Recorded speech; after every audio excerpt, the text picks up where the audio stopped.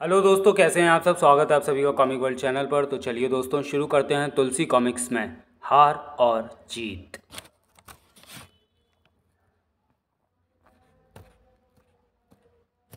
हार और जीत।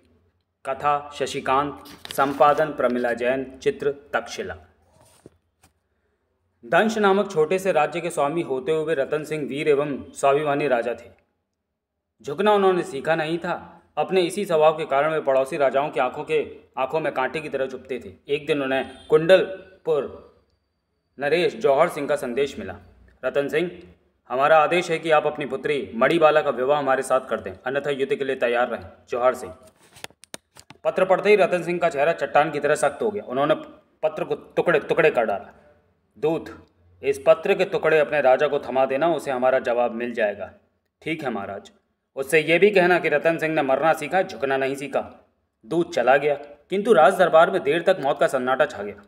यह सन्नाटा रतन सिंह की आवाज़ से टूटा। सेनापति, उत्तरी सीमा पर युद्ध की तैयारी की जाए। जो आज्ञा महाराज, सहसा ही ऐसा निर्णय क्यों अन्नदाता? महामंत्री, जौहर सिंह ने हमारे पौरुष, वीरता और स्वाभिमान को चुनौती दी है। वह चाहता है कि हम उसके आगे झुक जाएँ। किंतु महाराज, हमारे मुट्ठी भर सैनिक जौहर सिंह की विशाल सेना का सामना किस प्रकार कर सकेंगे? जानते हैं, नहीं कर सकते। किंतु वह अपने देश के आन के लिए मर तो सकते हैं, महामंत्री। क्षमा करें महाराज, परंतु यह बुद्धिमानी नहीं कही जाएगी। चुप रहो महामंत्री, तुम अच्छी तरह से जानते हो कि हमें कायरता से घड़ना है। ऐसा कहकर महाराज रतन सिंह सिंहासन से उठ गए। वो महल में पहुँचे तो महारानी वीराबाई से उनके चेहरे के भाव छुपे नहीं रह गए। स्वामी, ऐसा लगता है जैसे आज किसी ने आपके स्वाभिमान को छलनी करने का प्रयत्न किया है। तुम्हारा कथन सत्य है प्रिय। जौहर सिंह की तो आयु भी पचास वर्ष से ऊपर है। प्रश्न आयु का नहीं, आत्मसम्मान का है। रतन सिंह ने पूरी बात बताई। और फिर हमारे वंश में तो विवाह के लिए स्वयंवर की ही प्रथा है। आप कहें तो मैं मणिबाला से बात करूँ। मुझे विश्वास है अपने देश को रक्तपात से बचाने के लिए वह सुनते ही रतन सिंह की आँखें अंगारों की तरह दहक उठी। तो मैं लज्जा आनी चाहिए महारानी। वीर पुरुष की पत्नी होकर भी तुम क्षमा करें, स्वामी। महारानी मणिबाला के त्याग से रक्तपात तो अवश्य रुक जाएगा, किंतु हमारा यह मस्तक, हमारा मस्तक तो सदा सदा के लिए जौहर सिंह के कदमों में झुक जाएगा। आप ठीक कहते हैं, स्वामी। और हम ऐसा होने से पहले यह मस्तक अपने हाथों से काट डालेंगे, महारानी। मणिबाला पर्दे के पीछे से यह सब सुन रही थी। ओह राज्य पर यह विपत्ति मेरे कारण ही आएगी। पिताजी, मेरा निवेदन है कि अब आप इस चिंता को त्याग दें। मैंने इसका निवारण सोच लिया है। वह क्या, पुत्री? मैं अपने प्राणों को त्याग दूँगी पिताजी। मैं नहीं रहूँगी तो युद्ध कैसा? राजपूत की बेटी होकर तो आत्मघात करेगी? पिताजी, कितनी कायर है एक राजपूत कन्या। शत्रुओं के डर से आत्महत्या करेगी। होना तो ये चाहिए था कि तू एक वीरांगना की तरह युद्ध भूमि में शत्रुओं से लोहा लेती। क्षमा चाहती हूँ पिताजी। मैं एक पल के लिए अपने कर्तव्य को भूल बैठी थी। पिताजी, मैं वचन देती हूँ, मेरे जीवित रहते जौहर सिंह हमारे देश का मान भंग नहीं कर सकेगा। हमें प्रसन्नता हुई पुत्री। और आज ये सुनकर मेरा, मेरी कोक भी धन्य हो गई बेटी। वीराबाई ने पुत्री को सीने से लगा लिया। मणि बाला ने अगले दिन अपनी सखी चंद्रकला को सब कुछ कह सुनाया। चंद्रकला, मैं इस विषय में तेरी सम्मति चाहती हूँ। तुम्हारा निर्णय बुरा नहीं, राजकुमारी। किंतु जौहर सिंह की सैन्य शक्ति, यदि हम कुछ नहीं कर सकते तो युद्ध भूमि में अपने प्राण तो दे सकते हैं। प्राण इतने सस्ते तो नहीं होते कि उन्हें यूँ ही गंवा दिया जाए। मैं समझी नहीं, चंद्रकला। सखी, वीरता तो तब है जब अपने प्राण गंवाने से पहले जौहर सिंह के प्राण ले लिए जाएँ। ये कैसे हो सकता है चंद्रकला? बिल्कुल हो सकता है मणिबाला उसके लिए मैंने एक युक्ति सोची है। तब चंद्रकला उसे युक्ति बताने लगी। उधर रतन सिंह जब सोकर उठे तो सेवक ने उन्हें एक पत्र दिया। महाराज, यह पत्र राजकुमारी जी के कक्ष से मिला है। कैसा पत्र? दिखाओ। पिताजी, मैं चंद्रकला के साथ कुछ समय के लिए राज्य से बाहर जा रही हूँ, किंतु इस निश्चय के साथ कि मैं जौहर सिंह को समाप्त करके ही वापस लौटूँगी। पत्र पढ़ते ही रतन सिंह की आँखों में आँसू आ गए। तूने ऐसा निश्चय क्यों कर लिया बेटी? मेरे कहने का आशय यह तो नहीं था। वीराबाई ने भी पत्र को पढ़ा, उसने अपने पति को समझाया। आपको तो अपनी बेटी पर गर्व होना चाहिए था, और आप रो रहे हैं? यह तो सोचो प्रिय, कि अभी मड़ा मड़ी बाला की आयु क्या है, और वह हमारी इकलौती बेटी है। तो क्या हुआ? आप तो जानते हैं कि वह शस्त्र, कौशल एवं युद्ध कला में पूरी तरह निपुण है। यदि हमने इतने कटु शब्द ना कहे होते तो कदाचित वह ऐसा ना करती। उधर, कुंडलपुर में दूत ने जौहर सिंह के सम्मुख उसी पत्र के टुकड़े रख दिए। हम पूछते हैं दूध कागज़ के इन टुकड़ों का क्या अर्थ है? क्षमा करें अन्नदाता, ये टुकड़े उसी पत्र के हैं और रतन सिंह ने यही जवाब भेजा है। सुनते ही जौहर सिंह की आँखों में क्रोध के शोले भड़क उठे, वह क्रोध में भरकर चिल्लाया, उस चीटी जैसे इंसान की ये हिम्मत, सेनापति! आज्ञा महाराज, दंश राज्य को इसी समय धूल में मिला दिया जाए।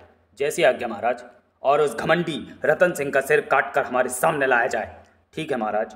दूसरी ओर मणिवाला एवं चंद्रकला राजकुमारों जैसे वेश में घोड़ों पर सवार होकर राजधानी से निकली। चंद्रकला, मुझे भय है कि कहीं जौहर सिंह हमारे राज्य पर तत्काल ही आक्रमण ना कर दे। नहीं, तुरंत ही ऐसा नहीं होगा राजकुमारी। राजकुमारी जी, सबसे पहले हम सेनापति को ही निशाना बनाएँगे, ठीक है ना? हाँ ये ठीक रहेगा। कम से कम कुछ समय के लिए तो युद्ध रुक जाएगा। प्रभात होने से पूर्व दोनों सखियों ने कुंडलपुर नगर में प्रवेश किया। कुंडलपुर एक कुंडलपुर एक पहाड़ी पर स्थित था। नगर के चारों ओर भी पहाड़ियों की श्रृंखला थी। दोनों वहीं छुप गई। यार स्वर्ण, हमारे राजा के दिमाग में कुछ खराबी सी लगती है। प्रतिवर्ष किसी न किसी राज्य पर आक्रमण करना तो उसका शौक बन गया है। उसका क्या बिगड़ता है? युद्ध में तो हम गरीब सैनिक ही मारे जाते हैं। हमारा सेनापति तो इतना डरपोक है भी कि हमेशा पीछे ही रहता है। यदि इन दोनों को काबू में कर लिया जाए तो इनसे बहुत से रहस्य प्राप्त किए जा सकते हैं। मैं तैयार हूँ चंद्रकला। तो चलो दोनों सखियाँ हाथों में रस्सियाँ लेकर अलग अलग दिशाओं में बढ़ गई। फिर दोनों ने रस्सियों के फंदे सैनिकों की ओर फेंके। आ मरा मेरी गर्दन अरे दम घुटने के कारण दोनों सैनिक गिर पड़े। था मणिबाला और चंद्रकाला ने सामने आकर उनकी छाती पर तलवार रख दी। सैनिकों हमें केवल दो प्रश्नों के उत्तर चाहिए। पहला तुम्हारे सेनापति का निवास स्थान कहाँ है? और दूसरा किले में प्रवेश करने का गुप्त मार्ग। यदि तुमने इन प्रश्नों का उत्तर नहीं दिया तो मैं तुम्हारा सर धड़ से अलग काटूँगी नहीं, ऐसा मत कीजिए। हम आपके प्रश्नों के उत्तर अवश्य देंगे। सेनापति का निवास तो शिव मंदिर के ठीक सामने है। और गुप्त, और किले का गुप्त मार्ग? शिव मंदिर के दाई ओर जो खंडर है उनके बीच वाले कक्ष से एक सुरंग किले में जाती है।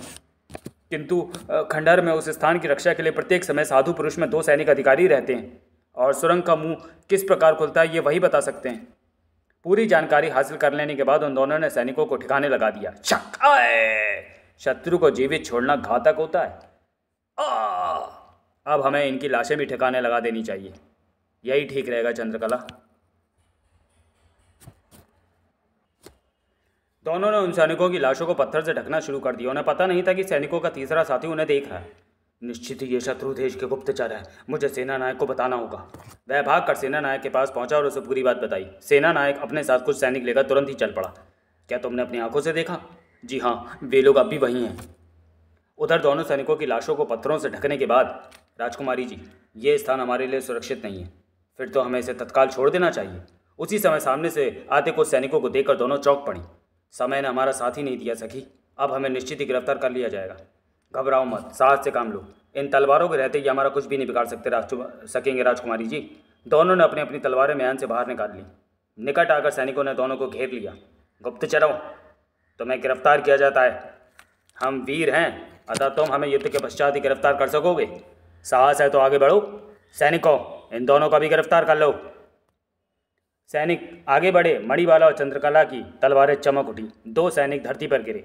इसके उपरांत चार और भी। सेना नायक भयभीत होकर भागा। तलवारें हैं या बिजलियाँ? मुझे तुरंत ही बुरी टुकड़ी बुलानी होगी।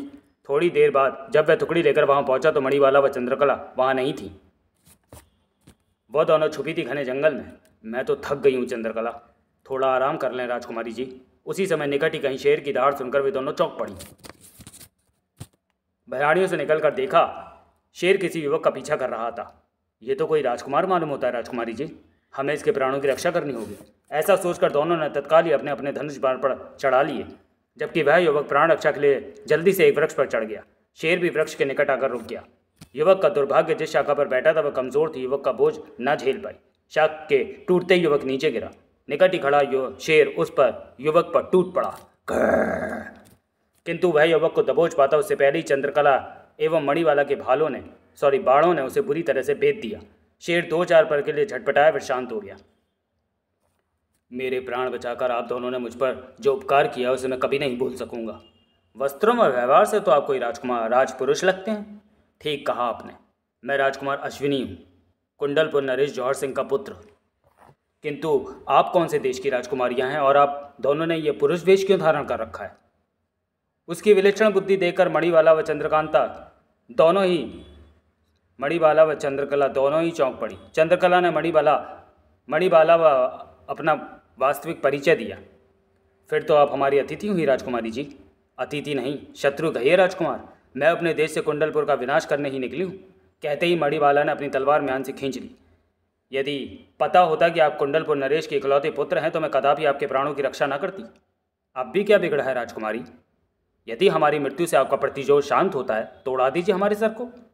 वैसे भी, अब आपके बिना हमारा जीवन संभव नहीं, राजकुमारी जी। आपके सौंदर्य ने पागल बना दिया है हमें। राजकुमार, यदि कुंडलपुर की सेना हमारे देश पर आक्रमण न करने का वचन दे तो हम यहाँ से चली जाएँगे। चंद्रकला, हम वीर पिता की कन्याएँ हैं। ऐसा कहकर तुम अपने स्वाभिमान को गिरा रही हो। हम वचन देते हैं, राजकुमारी जी, कि आपके स्वाभिमान को कोई चोट नहीं पहुँचाएँगे। किंतु, और हम यह भी वचन देते हैं कि हमारी सेना दंश देश पर आक्रमण नहीं करेगी। आप केवल हमारे लौटने की प्रतीक्षा करें। दूसरी ओर राज दरबार में, सेनापति, हमारी सेना संध्या से पूर्व ही दंश देश के लिए प्रस्थान करेगी, जैसी आज्ञा महाराज। उसी समय राजकुमार ने दरबार में प्रवेश किया। क्षमा करें पिताजी, अब यह आक्रमण नहीं होगा। क्यों? पिताजी, यह युद्ध कदापि नहीं होगा। सेना युद्ध के लिए प्रस्थान नहीं करेंगी। महाराज के आदेश का उल्लंघन का अर्थ है राजद्रोह। पिताजी, कुंडलपुर का भावी शासक होने के कारण इस युद्ध को रोकने का अधिकार मुझे भी है। और तुम्हें यह अधिकार हमारी मृत्यु के पश्चात ही मिलेगा, युवराज। सैनिकों, युवराज को नजरबंद कर दिया जाए। आदेश पाते ही दो सैनिक आगे बढ़े। उसी क्षण राजकुमार अश्विनी ने बड़ी फुर्ती से अपनी तलवार खींच ली। राजकुमार अश्विनी की तलवार यमराज के पास की तरफ़ घूम गई। खचा खच। क्या? तुम्हारा ऐसा तो सात सैनिकों? फिर तो बहुत से सैनिक आगे बढ़े। तलवारें बिजलियों की तरह चमकने लगी। दरबार रण रणभूमि बन गया। राजकुमार भुट्टों की तरह सैनिकों के सुर उड़ाने लगे। किंतु वह आखिर अकेला था। राजकुमार सैनिकों से जूझता हुआ खिड़की तक पहुँचने का रास्ता बनाने लगा। या किंतु वह आखिर अकेला था। अब मुझे यहाँ से निकल जाना चाहिए। अंत में राजकुमार खिड़की से नीचे कूदा और घोड़े पर बैठकर सैनिकों की नज़रों से ओझल हो गया। दूसरी ओर मणिबाला व चंद्रकला उसी जंगल में बैठी किसी योजना पर विचार कर रही थी, तभी रक्त में सनी तलवार लिए राजकुमार वहाँ पहुँचा। राजकुमारी, यह रक्त रंजित तलवार साक्षी है कि हम अपने वचन का पालन कर रहे हैं। आश्चर्य! तब राजकुमार ने विस्तार पूर्वक सब कथा उन्हें क्या सुनाई। आपने अपने पिता से विद्रोह कर दिया राजकुमार? केवल आपका विश्वास जीतने के लिए राजकुमारी। किंतु इसका परिणाम? यही एक ऐसी चीज़ है जिसकी चिंता वीर पुरुषों को कभी नहीं होती राजकुमारी। विश्वास कीजिए, आप इस अभियान में अब इस अभियान में मैं भी आपके साथ हूँ। यदि युद्ध बंद नहीं हुआ तो मैं आपके साथ चलकर आपकी ओर से युद्ध करूँगा। देखा मणिबाला? अपने सौंदर्य के जादू का कमाल। तुम्हारे लिए युवराज भी विद्रोही बन गए। चल, चुप रह, शैतान। दूसरी ओर राज दरबार में महाराज जौहर सिंह। क्षमा करें महाराज। एक साधारण बाण के लिए सॉरी एक साधारण बाला के लिए के लिए लिए युवराज का अपमान उचित नहीं था। सॉरी, साधारण बात के लिए। साधारण बात, महामंत्री उसने हमारे सम्मान और इस सिंहासन को चुनौती दी थी। चाहे कारण कुछ भी रहा हो महाराज, किंतु युवराज का यूँ विद्रोह करना राज्य के लिए उचित नहीं। हम जानते हैं, और ये भी जानते हैं कि विद्रोहियों का असर कैसे कुचला जाता है महामंत्री। हमारी सेनाएँ दंश राज्य पर आक्रमण के लिए तुरंत कूच करें। उधर, जब आक्रमण का समाचार महाराज रतन सिंह को मिला तो उनके चेहरे पर चट्टान जैसी कठोरता उभर आई। सेनापति, शत्रु के आक्रमण का मुँह तोड़ जवाब दिया जाए। आप निश्चिंत रहें महाराज। हमारे वीर सैनिक मातृभूमि की रक्षा के लिए अपने प्राणों की बलि दे देंगे। महामंत्री, मणिबाला एवं चंद्रकला के बारे में कोई सूचना प्राप्त हुई? नहीं महाराज, गुप्तचर निराश होकर लौट आए दूसरी ओर, एक गुफा में बैठे राजकुमार को जब सेना के प्रस्थान का समाचार मिला तो राजकुमारी जी, आज मैं कुंडलपुर में रक्त की नदियाँ बहा दूँगा। आप अपना धैर्य खो रहे हैं राजकुमार जी। यह तो सोचिए कि आप अकेले इतनी विशाल सेना का सामना कैसे कर सकेंगे? नहीं कर सकेंगे राजकुमारी जी। किंतु हम आपके लिए अपने प्राण तो दे ही सकते हैं। मेरे विचार से अब हमें अपने राज्य में पहुंचकर शत्रु का सामना करना चाहिए। उसी समय कुंडलपुर राज्य की सेना बड़ी तेज़ी से दंश राज्य की ओर बढ़ रही थी। स्वयं जौहर सिंह भी एक हाथी पर सवार थे। कुंडलपुर, नरेश की जय! ऐसा तो नहीं कि युवराज कुंडलपुर से निकलकर हमारे किसी शत्रु से मिल गया हो। इधर युवराज अश्विनी मणिवाला एवं चंद्रकला सहित कुंडलपुर पर कुंडलपुर राज्य की सीमा पार कर रहा था। बस अब आ ही पहुँचे। उधर युद्ध भूमि में जाने से पूर्व रतन सिंह, यदि ऐसे समय में हमारी पुत्री मणिबाला भी हो, होती तो कितना अच्छा होता। ईश्वर करे, आप युद्ध भूमि से विजयी होकर लौटे। उसी समय मणिबाला वहाँ पहुँच गई। प्रणाम पिताजी, प्रणाम माँ। आ, मेरी बेटी। पिताजी, कुंडलपुर के युवराज अश्वनी भी हमारे साथ आए हैं और आपसे मिलना चाहते हैं। सुनकर रतन सिंह चौंक पड़े। कुंडलपुर के युवराज, शत्रुपुत्र, उस घृष्ट जौहर सिंह का बेटा? मणिबाला ने मणिबाला ने सारी बात बताई। युवराज शत्रु पुत्र होते हुए भी हमारे मित्र हैं पिताजी। राजनीति के अनुसार यह एक शुभ समाचार है पुत्री। उन्हें आदर सहित ले आओ। जी अच्छा पिताजी। तब युवराज अश्विनी ने कक्ष में प्रवेश किया। हम तुम्हारा स्वागत करते हैं युवराज। इस धर्म युद्ध में मैं आपके साथ हूँ महाराज। इधर कुंडलपुर की सेना ने दंश राज्य की सीमा पर अपने खेमे गाड़ दिए। एक गुप्तचर ने तभी जौहर सिंह के खेमे में प्रवेश किया। एक विशेष समाचार है महाराज। युवराज दंश नरेश, रतन सिंह से मिल गए हैं। असंभव। ऐसा कैसे हो सकता है? महाराज, मैंने राजा रतन सिंह और युवराज को राजमहल में एक साथ निकलते देखा है। सच कहता हूँ, जौहर सिंह को लगा जैसे उसके सिर पर किसी ने हथौड़ा दे मारा। हमें भी ऐसी ही आशंका थी, गुप्तचर। एक समाचार ये भी है, महाराज, कि युवराज खुद अपनी ही सेना के विरुद्ध युद्ध करेंगे। युवराज, अश्वनी, मणिबाला और चंद्रकला तीनों एक साथ ही युद्ध के लिए तैयार होकर घोड़ों पर सवार हुए। आज हम धन्य हुए, युवराज, और आप सौभाग्यशाली भी हैं महाराज। आपके कुल में मणिबाला जैसी वीरांगना ने जन्म लिया और ये मेरी सखी चंद्रकला। इसके रण कौशल को देखकर तो आप दंग रह जाएँगे, युवराज। उधर महाराज जौहर सिंह बेटे के वियोग में अस्वस्थ हो गए, सेनापति। अस्वस्थता के कारण हम युद्ध नहीं करेंगे। अतः सेना का संचालन तुम्हारे हाथों में ही रहेगा। जैसी आज्ञा, महाराज। सेनापति ने युद्ध की तैयारियाँ शुरू करवा दी। अगली प्रातः दोनों सेनाओं ने युद्ध के बिगुल बजा दिए। हर हर महादेव, जय महाकाली। जौहर सिंह अपने शिविर में चिंताग्रस्त बैठे हुए थे। एक और युद्ध नीति, दूसरी ओर पिता का धर्म, किंतु इस समय हम पिता के ही धर्म का पालन करेंगे। बिगुल बसते ही दोनों ओर की सेना एक दूसरे पर भूखे भेड़ियों की तरह टूट पड़ी। दंश नरेश की जय, कुंडलपुर नरेश की जय। दंश राज्य की सेना अच्छी व सुगठित व्यू रचना के कारण कुंडलपुर की सेना पर भारी पड़ने लगी। रतन सिंह का युद्ध अनुभव युवराज अश्विनी की अतुल वीरता और मणिबाला व चंद्रकला के अचूक निशानों ने शत्रु सेना में त्राई त्राई मचा दी। रतन सिंह बार बार अपनी सेना को उत्साहित कर रहे थे। वीरों, तुम्हारे जीते जी शत्रु इस मातृभूमि का अपमान न कर पाए। अतः आगे बढ़ो, वीरों, आगे बढ़ो। उनकी तलवार शत्रुओं को गाजर मूली की तरह काट रही थी। उधर युवराज अश्विनी कुंडलपुर के सेनापति के सामने जा पहुँचे। क्या बात है, सेनापति? आपने मुझे सामने देखकर अपनी तलवार क्यों नीची कर ली? आप कुंडलपुर के भावी शासक हैं युवराज। मैं आपका सम्मान करता हूँ। आपसे युद्ध नहीं करूँगा। किंतु उस दिन जब दरबार में आपने मुझ पर हमला किया था, तब यह सम्मान भावना कहाँ गई थी सेनापति? क्षमा करें युवराज, उस समय महाराज की आज्ञा पालन मेरा धर्म था। तो अब भी उसी धर्म का पालन कीजिए और मेरा वार रोकिए। फिर तो युवराज और सेनापति जीवन का मोह त्याग कर एक दूसरे से जूझने लगे। हा, या! इधर राजकुमारी मणिबाला और चंद्रकला अपने घातक अपने अचूक बाणों से शत्रुओं का सर्वनाश करने में लगी हुई थी। तो उधर युवराज अश्वनी सेनापति से जमकर लोहा ले रहे थे। मुकाबला भारी था, किंतु युवराज ने जल्दी ही सेनापति को मार डाला। या! सेनापति के मरते ही शत्रु सेना में भगदड़ मच गई। सेनापति मारे गए। भागो भागो भागो! समाचार जौहर सिंह को मिला। ये तूने क्या किया बेटे? अपने ही सेना पति को मार डाला। हमारी व्यवस्था यह है कि हम तुझसे युद्ध नहीं कर सकते। जिन हाथों ने तुझे गोदी में खिलाया है, वे तुझ पर वार करने के लिए किस प्रकार उठ सकेंगे? पर शीघ्र उन्होंने अपने भाव आवेश को संभाला और वे युद्ध को तैयार हुए। परंतु युवराज, अश्वनी से पहले उन्हें रतन सिंह टक्कर टकरा गया। जौहर सिंह ने चेतावनी दी। सामने से हट जाओ रतन सिंह। आज का यह युद्ध पिता और पुत्र के बीच में होगा। तुम बीच में मत आओ। नहीं नहीं, जौहर सिंह। वीर पुरुष युद्ध से मुँह नहीं मोड़ा करते। युवराज की बात में सोचना पहले मुझसे युद्ध करो। चलाओ तलवार। रतन सिंह, अब यह युद्ध पिता और पुत्र का हो गया है। तुम अपनी जान गवा कर उसकी जान बचाने की कोशिश ना करो। तभी युवराज अश्विनी भी वहाँ पहुँचा। किसकी जान जाती है, इसका निर्णय तो तलवारें ही कर सकती हैं पिताजी। कीजिए अपना वार। आश्चर्य है। एक पुत्र अपने पिता को चुनौती दे रहा है? वाह! पिता को नहीं, अधर्म के मार्ग पर चलने वाले राजा को चुनौती दे रहा हूँ। यदि दुर्भाग्य से वह राजा मेरा पिता है तो अभी मैं युद्ध करूँगा।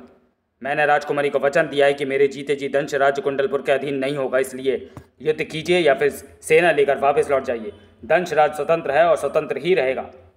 तेरा इतना साहस कि मुझे वापस लौट जाने को कहे, ले संभाल ये वार। पिता पुत्र के बीच अत्यंत भयानक युद्ध छिड़ गया। टन, खन, रतन सिंह भी देखकर चिंतित हो उठे। मैंने ऐसा तो नहीं चाहा था कि मेरे कारण पिता पुत्र में युद्ध छिड़े। युवराज अभी बालक है, उसे कुछ हो ना जाए। आखिर युवराज घायल होकर नीचे गिर पड़े। जौहर सिंह ने युद्ध रोक दिया और तलवार फेंक दी। उठो पुत्र इस युद्ध में विजय श्री तुम्हें ही मिली है। आप आप हम हार गए पुत्र और अपनी सेना के साथ अभी वापस लौट रहे हैं। अब हमें विजय नहीं चाहिए। जौहर सिंह ने युद्ध समाप्ति की घोषणा की। युद्ध बंद हो गया। जौहर सिंह आगे बढ़कर रतन सिंह से गले मिले। सभी भाव विहल उठे। रतन सिंह अपने बेटे का लहू देखकर हमारी आँखें खुल गई आज।